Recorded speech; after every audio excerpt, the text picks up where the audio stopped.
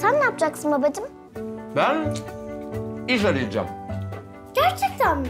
Evet, gerçekten. Demir.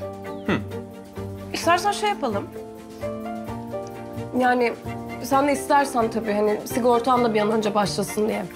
Benim klinikte uzun zamandır bir asistana ihtiyacım var. İstersen şimdilik. Gerek yok. Sağ ol yine de. Ben gider kendime vasıfsız bir iş bakarım. Sen dert etme. Demir sen alındın mı bana? Aa gerçekten alındım. Ya yok alınır mıyım ben ya? Şaka yapıyorum kızım, şaka yapıyorum. Şaka yaptım çünkü kediler köpekler buna alerjim var ya benim. Şey yapma. Candancım benim. Karıcığım.